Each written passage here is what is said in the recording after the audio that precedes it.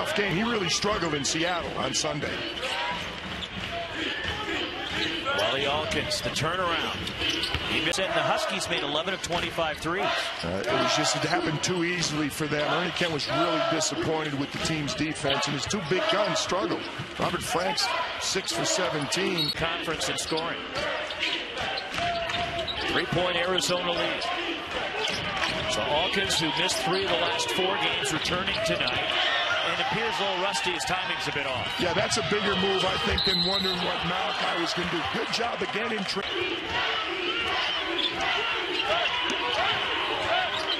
The lob.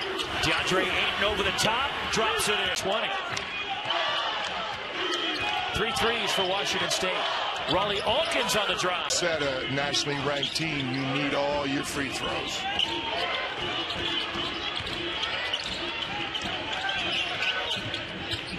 Rawle Alkins, corner three.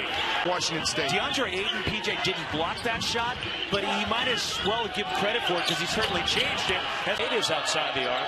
Keep in mind, Arizona's at 39% from three-point land. Now, they don't shoot as many, but they shoot an excellent percentage. And Rawle Alkins. And the narrow victory for the Cats at McKale on Saturday. A lot of aqua. Bernstine on PJC. Yeah, exactly. Right here. we got it at the table. We had it on the floor. Rawle Alkins with a strong move. Last year, the only other player on this roster that started the game was Jeff Pollard. He started one. That's how inexperienced this Washington State team is. Form every basically everybody back, basically the entire team back for Washington State. They added C.J. Ellis to the basket. Here's DeAndre Ayton, and he drops it in. But the moving the feet and guarding smaller, quicker players, that's not easy.